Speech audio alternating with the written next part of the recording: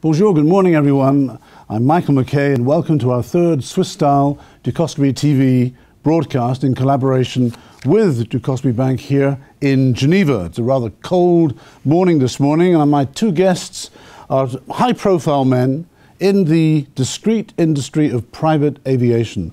I have with me Greg Thomas, who's president and CEO of PrivatAir, and Rob Wells, CEO of TAG Aviation Holding. Now, TAG Aviation is the market leader, but both gentlemen will acknowledge that there's quite a difference in size between them. And the two companies are important in the private aviation business here in and out of Switzerland. And this is the business sector that we shall be examining this morning. So, welcome, Greg. Welcome, Rob. Nice to have you with us. Good morning, Michael.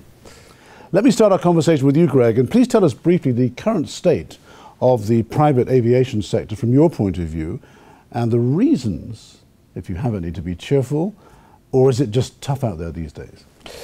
Uh, thank you, Michael. Um, the private aviation industry right now is, in a, I would say, in a state of um, stasis. It has been for a few years now.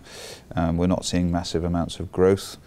Um, in fact, I was looking at uh, ground handling numbers here for Geneva for, for our sector, which have shrunk another 5% year on year 2013 over 2012. And this has been a trend for the last three to four years.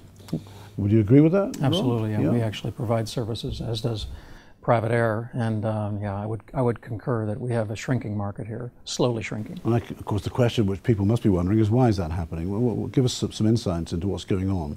Well, I think you know the, the private aviation market is a very very uh, reactive barometer to the state of the general economy. Mm. When people are feeling rich, when their stock portfolios are up, um, they they travel more in in their private jets and they and they buy newer and better private jets. And uh, at the moment uh, in Europe, well, we know what the state of the the general economy is. So there's not everybody's hunkered down, and uh, there's not much um, not much growth on the horizon for the moment. But when you say uh, the business sector, are we talking Europe essentially, or are we talking the global business? I mean, how do you how do you see it from your perspective in Geneva? From a from a global perspective, each each market is different. It I is would different. say Europe is uh, is a static market, um, perhaps retrenching a, a, little bit. The United States is clearly starting to uh, recover, although it's a very very slow recovery.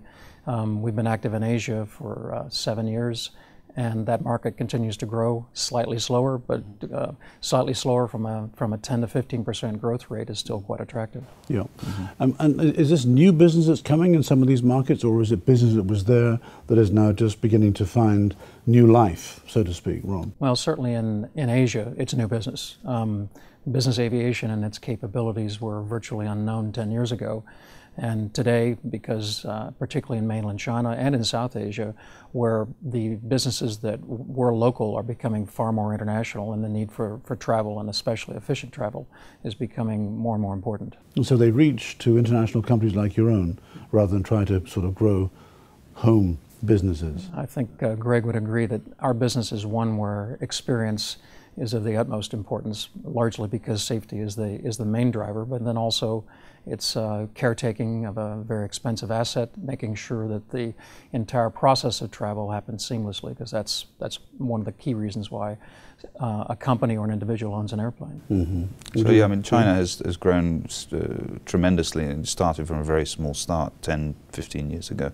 In 2001, the largest uh, operator in, in mainland China had six airplanes. Mm-hmm. That same operator today has 60. This so is a Chinese, this Chinese, is a local company. Ch- local Chinese yeah. company, yeah. biggest player in the market. Um, and uh, yeah, and, and and we see the Asia Pacific Rim in the next 15 years to be, you know, the major centre of growth, um, not only for the world economy, but but in our business in particular. Yeah, mm-hmm. and our experience has been similar. Uh, five years ago, we had five aircraft, and today we have 46. So it's been very dramatic growth, yeah. not unlike what we saw in Europe uh, seven, eight years ago. Yeah, yeah. We just to change subject a little bit, we had Harry Hohmeister recently speaking at an event just not far from here, and he talked about the similarity, and he was talking in terms of profitability between European scheduled airlines, scheduled airlines, and African scheduled airlines. Um, that basically neither group was making any money, or not enough money. And I just wondered if that kind of experience is what you're seeing in the private airline sector, or uh, is your arithmetic different? Can you talk about that? Um, they, the two industries could not be more different. I've often said that, with the exception of the fact that uh, the equipment has engines and wings, that's, that's where the similarity ends. But it seems counterintuitive to people who are not in the industry that a scheduled carrier could be so different from a private carrier. Well, the, the scheduled carrier, and, and Greg can speak uh, more accurately to this, is dealing with, um, with largely a commodity. We, are, we in the private aviation industry are not. We're dealing with finding solutions um, that um, are not commodity-based pricing. Could you tell us a bit more about that? Because I'm just just to drill a bit deeper for well, us. Well, I mean, yeah. If you if you look at Europe, uh, um, I mean, I, I, take a slight issue with that because I think in Europe we've got to the stage where it has become a commodity mm-hmm. almost. Mm-hmm. You have so many players in the market, and in the States is the worst of all. I mean, they have 2,000 private jet operators in, uh, working in the air taxi space with an average fleet size of one and a half airplanes. Mm. Um, in Europe, the same. Um, in uh, in Africa, the, the, the, problem you have is that, that there's a tremendously large population, but mm. a very small population that can afford to yeah. buy an airline yeah. ticket.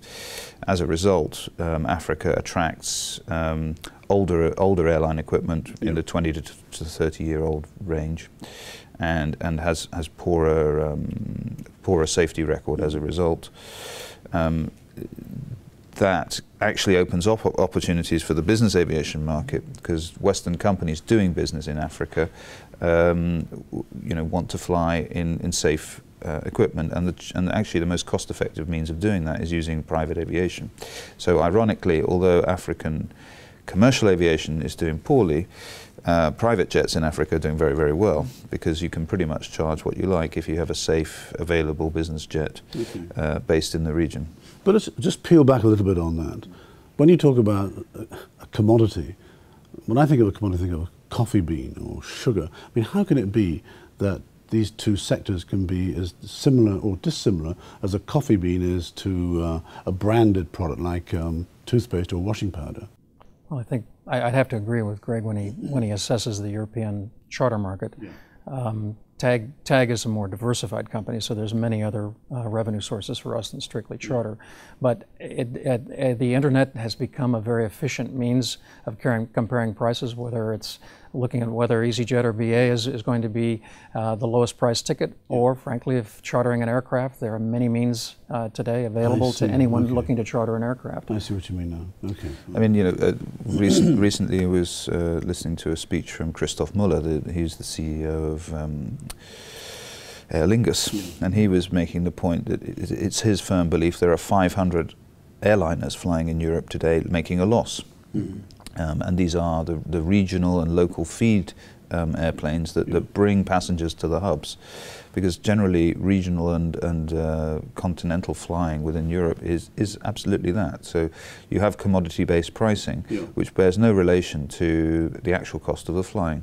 So, uh, so as, as us, as all of us as, as airline consumers, uh, yeah, we're all happy to, that we can pay £99 on EasyJet. Sure, but, I mean uh, but, but £99 on British Airways um, probably means you know you're getting a, a hundred pound subsidy from BA to, to actually fly on the plane. So the shareholder, you're saying that the shareholder from these private companies is subsidising these half-empty or less than half-empty airplanes that are flying around, feeding in to their own. So they have a business interest. This yeah. is the regional, the regional, yeah, the regional airlines. Yeah. The, the, business interest is to get people on the wide bodies exactly. to fly, right. to fly into, intercontinental. Exactly. Yeah. Exactly.